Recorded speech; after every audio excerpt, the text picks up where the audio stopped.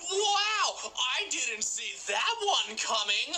Holy moly, what if Minitoon were to make a piggy too?